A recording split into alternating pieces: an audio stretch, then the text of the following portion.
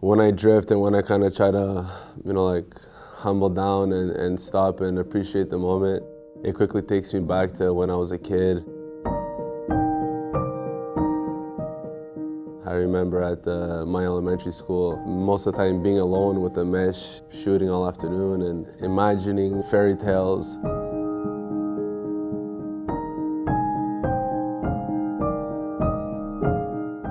I swear my, my neighbors must have thought that this kid was crazy because I remember, and this is honest from, from, from my heart, I remember imagining playing in these big tournaments and then I, I, would score a goal with no goalie, just me in the mesh, and then I would run to the corner and I would imagine the trees were the fans and I would, you know, like kiss my shirt and I swear if one of the neighbors were looking out of their backyard, they would probably thought about calling the cops once, once or twice, you know, seeing what this kid was doing. Vitória!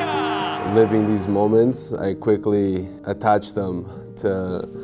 to little boy that just spent his whole childhood dreaming. And now being able to see that a dream came true,